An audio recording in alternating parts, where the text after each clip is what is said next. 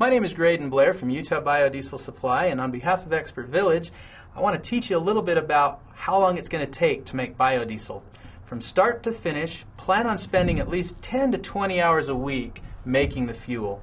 You need about oh, two to three hours to go out and collect the oil. You're going to bring it home, and you want to put it in a place that's not where your neighbors and all your friends and stuff are going to be tromping through. You want to keep it somewhat clean. For the actual producing of the biodiesel, you want it in a well ventilated area where it's safe. Remember to have a fire extinguisher nearby, and then you can make your biodiesel. It's also important that you don't have other people distracting you while you're making biodiesel. You're dealing with flammable substances and flammable things.